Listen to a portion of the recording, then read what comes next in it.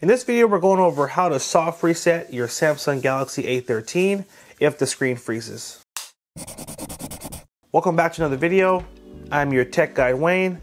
In the video today, I'm going to walk you through what to do if your screen freezes or all of a sudden is not working. Um, you can do what's called a soft reset, which will restart the phone using the exterior buttons and usually a restart will fix whatever the problem is initially.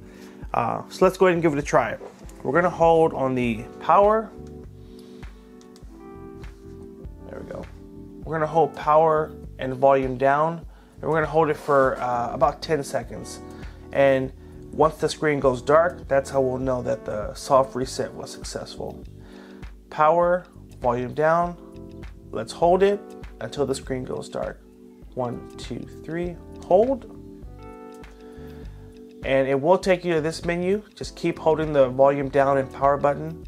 And once the screen goes dark, let go of the buttons, give the phone a few seconds, and you should see it automatically restart, just like that. If it doesn't come on after about 10 seconds of going dark, just hold the power button and that will then turn it on. Um, doing a soft reset will not uh, hurt your phone or uh, mess up the settings. It literally is the equivalent of taking the battery out and putting it back in. For those of you that remember phones five years ago, if the phone was glitching or um, the screen wasn't working properly, you would just take the battery out, put it back in, and then that would restart the phone. So guess what? Phones like these, the battery is, is sealed inside. You cannot take the battery out. So now they have this new option, which is the soft reset.